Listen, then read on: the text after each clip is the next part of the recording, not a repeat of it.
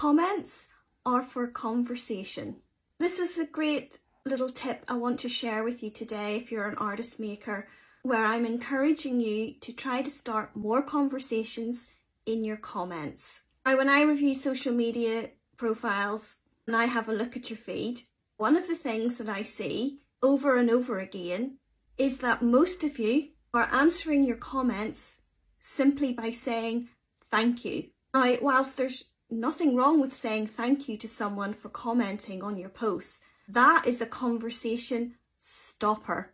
What you want to do is start to think about ways that you can keep a conversation going in your comments. Think about how you would answer a question or a compliment in real life about your work. If you were doing a craft fair and someone said to you, I love that piece of work, what would you say to them? Of course, you're going to say, thank you very much. And then what?